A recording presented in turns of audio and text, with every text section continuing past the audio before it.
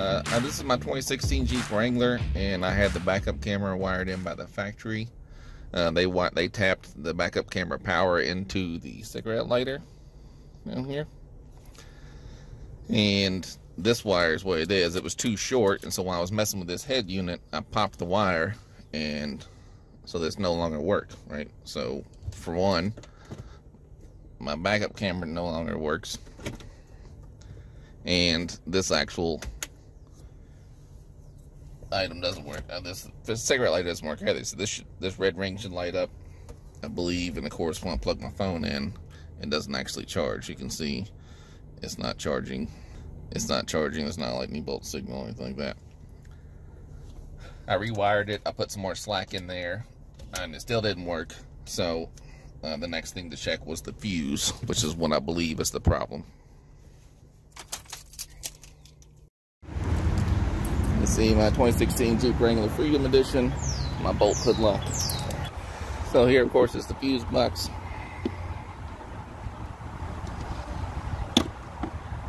There's all your fuses. Uh, if you look on here, it breaks everything down for you.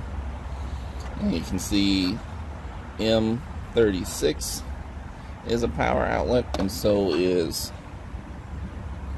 M6 is a power outlet. Uh, what's neat though, I didn't realize it had a fuse puller already. So like this little yellow guy here is a fuse puller. I bought this little kit from Home Depot. It's probably cheaper somewhere else, but comes with a little fuse tester. And I have this fuse puller of its own, but I'm gonna use the one with the Jeep. I don't know which power outlet it is, so M this is M36 and this is M6, I believe.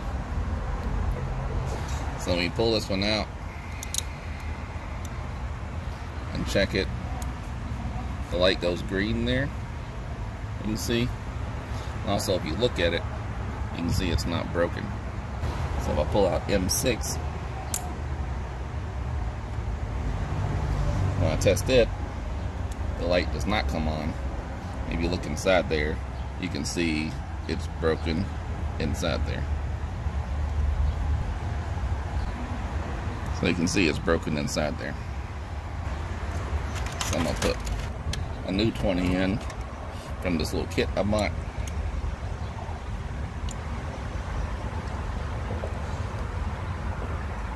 So slapped it right back in.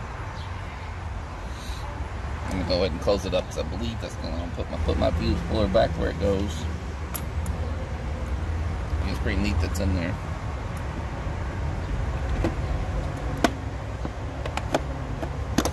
First thing I'm gonna do is check the backup camera. Now it works. So without a doubt, this guy should also work. So it does light up. You can't really tell from this video probably. Maybe you can. And then when I plug it in to my OnePlus 7 Pro, it says charging.